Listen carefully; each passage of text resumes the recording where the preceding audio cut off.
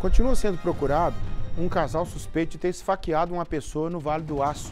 O crime foi registrado no distrito de Perpétuo Socorro, zona rural de Belo Oriente. A Gisele Ferreira conta detalhes pra gente, né? Quem é essa vítima aí, hein, Gisele?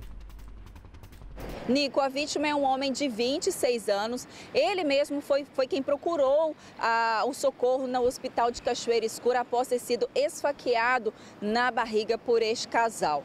É, a polícia foi acionada pela própria unidade de atendimento hospitalar por causa desta ocorrência, porém a vítima não soube dizer quais seriam os motivos pelos quais foi agredido. Ele repassou o nome destes suspeitos que ainda estão sendo procurados pela polícia, mas ele se limitou a dizer apenas os nomes dessas duas pessoas, deste casal. Não soube ali informar quais, ou talvez não queira ter informado também, né, Nico? Há ainda essa possibilidade dele ter sido agredido por essa dupla aí, que agora passa a ser procurada pela polícia. Nico?